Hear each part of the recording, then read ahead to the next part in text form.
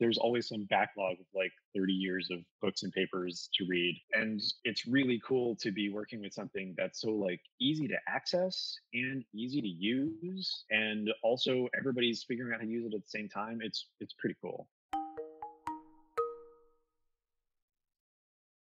Hi y'all, I'm Jesse Mostipak, a community advocate here at Kaggle.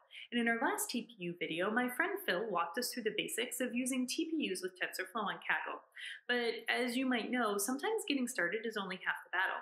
What do we do when things don't quite go exactly as we planned? Well, in this video, Phil's going to walk us through some basic TPU troubleshooting tips, as well as share some conventional wisdom before letting us in on a little secret, the biggest mistake he sees some of us making when we use TPUs. So what are we waiting for? Let's learn.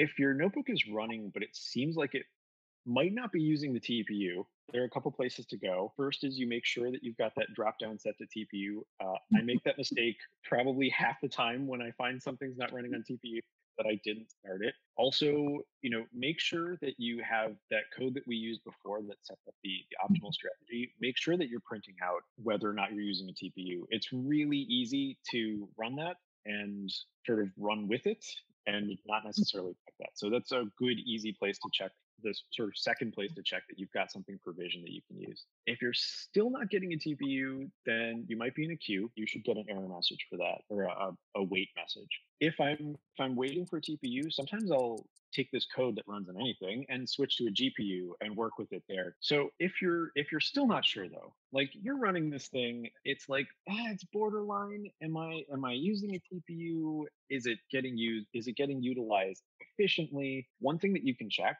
is in the kernel. There's this neat TPU usage indicator, which will tell you whether or not your TPU is actually being utilized. And so as you're running your TPU, you'll see this bar go up and hopefully be right near the top.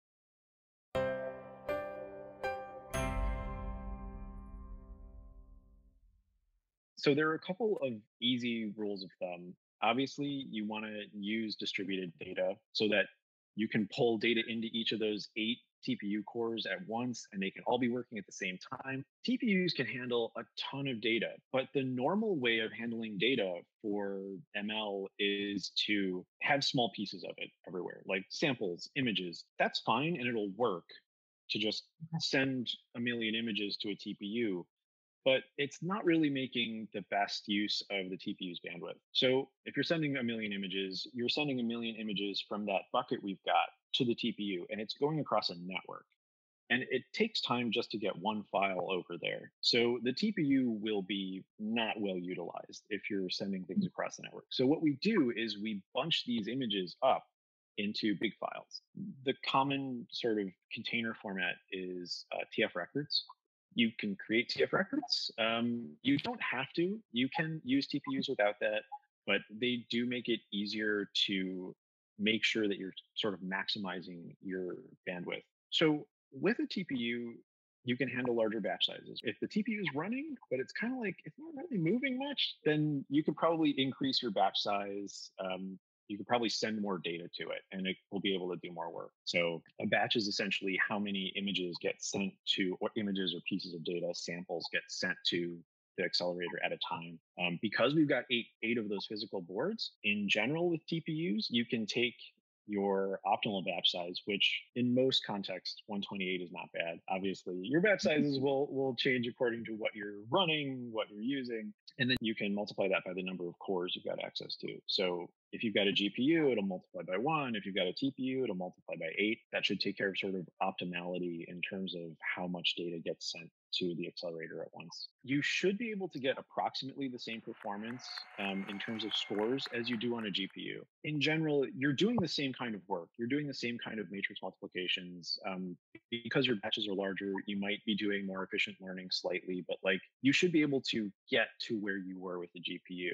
And if you're not, then learning rate, that conventional wisdom learning rate is probably a good place to start.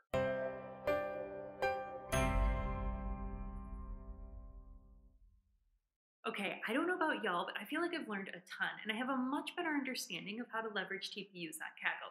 But Phil said there's one more thing he wants us to consider when we're using TPUs. The most common error that I see with TPUs is beyond not getting a TPU, beyond not provisioning it, beyond not feeding it, is to take that conventional wisdom and run.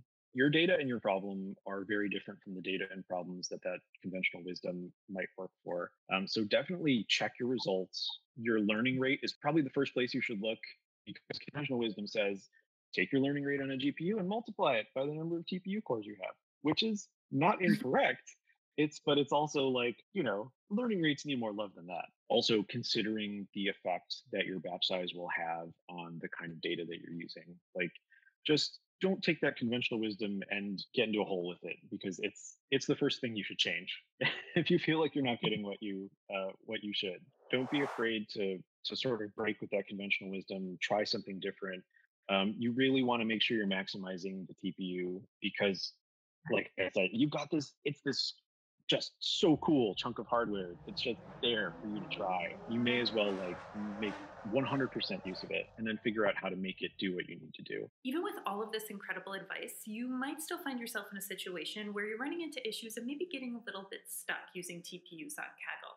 So I asked Phil, if I've tried everything you've told me about here and I'm still running into issues, what's the best way for me to go about getting unstuck? If you ask on the, I think it's the product support forums, um, if you ask a oh. question okay. there, then our engineers check that. Um, lots of different Kagglers check that, and you'll you'll get your your question seen. Plus, chances are good if it is some issue that Kaggle doesn't need to help you with, then other members of the community will be able to help you out with that and say, hey, I've run into this before. Like if it's a common issue, then you'll get community support definitely in that forum. Ready to try out TPUs? You can get 30 hours of TPU time every week on Kaggle at no charge. And be sure to check out the description below. I've included a couple links to current competitions that are very compatible with TPUs, as well as information on how you can get a TPU quota increase. So what are we waiting for? Let's learn.